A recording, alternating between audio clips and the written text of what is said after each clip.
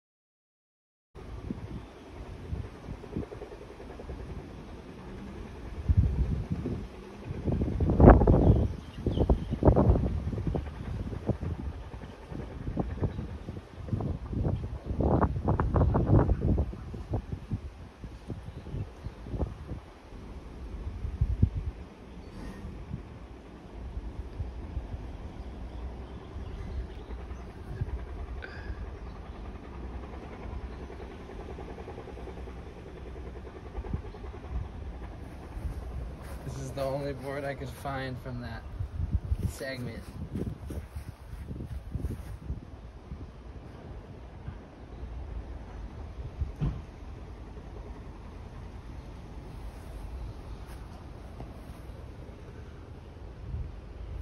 Special JP art job. Boom.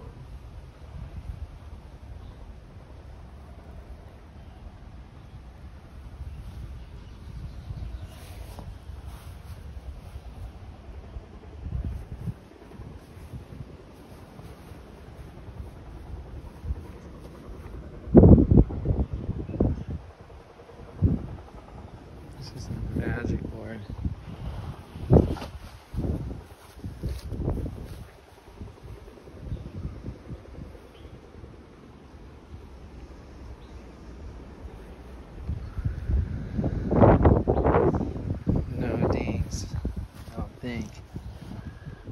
Uh, Sheldon used it a couple times since.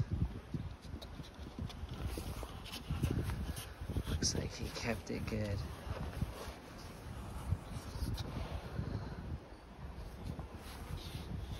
No dings, no buckles.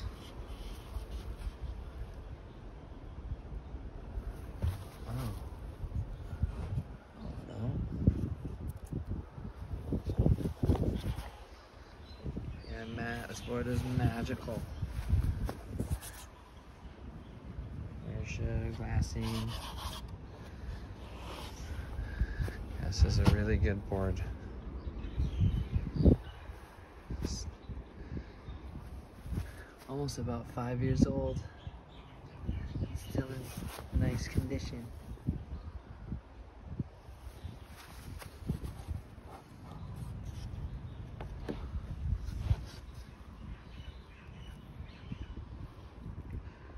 There's the only board I have from the Snapt 3 part.